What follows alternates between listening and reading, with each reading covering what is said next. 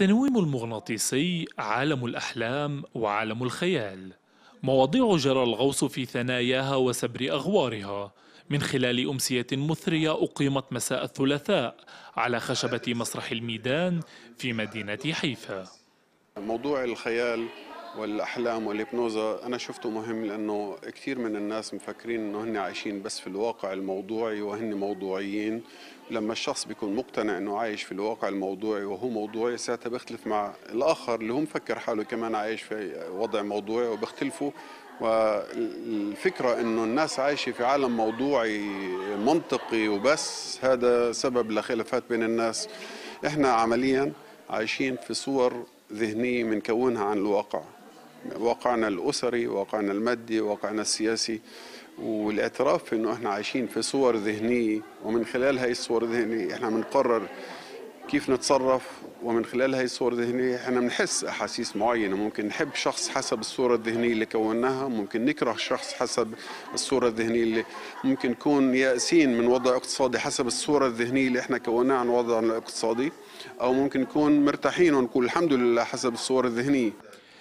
أسهب البروفيسور والأخصائي في علم النفس العلاجي مروان دويري في الحديث عن معاني ودلالات الأحلام كما تطرق أيضا إلى الواقع الذي نعيشه وانعكاسه على المشاهد الخيالية التي نراها أثناء الحلم.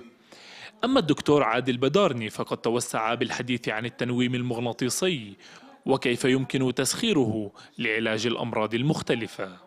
في عدة مجالات الهيبنوزا التنويم المغناطيسي ممكن يساعد فيها. ابتداء من مشاكل آه، نفسية من حالات قلق من حالات خوف.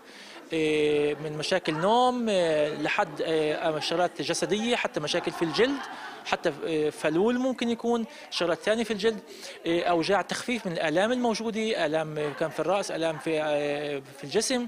اطباء الأسنان بيستعملوها كثير في التنويم من خلال علاج في علاج الأسنان وبيستعملوها اطباء حتى في العمليات يعني. بعد انتهاء المحاضرة أتيحت الفرصة أمام الجمهور لكي يطرح أسئلة ويشارك ما يجول في باله حول الموضوع.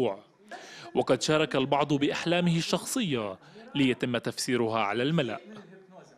اليوم خلال البرنامج في فقرة الأسئلة شاركت في حلم اللي أنا حلمته حلم شخصي.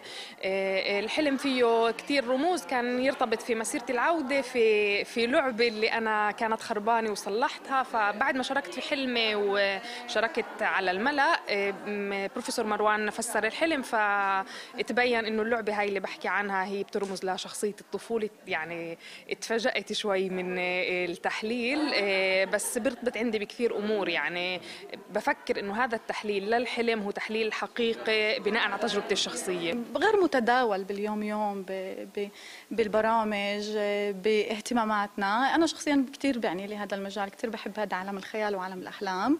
جيت اليوم لأنه كان هيك كثير بهمني إنه أفحص شغلات معينة هيك من خلالها معرفه الذات أفهم دور الخيال قديش مركزي في حياتنا في شخصية الإنسان. كمان قصة الأحلام يعني إحنا نفس بشرية هالقد كل الوقت يعني بنتعامل مع الأحلام مع الخيال.